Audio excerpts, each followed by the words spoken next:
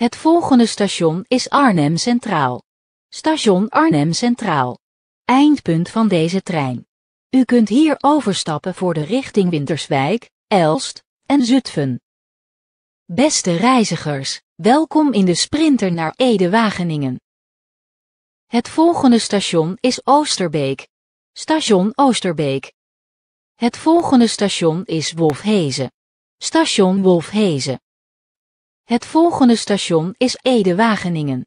Station Ede-Wageningen. Eindpunt van deze trein. U kunt hier overstappen voor de richting Amersfoort Centraal en Utrecht Centraal.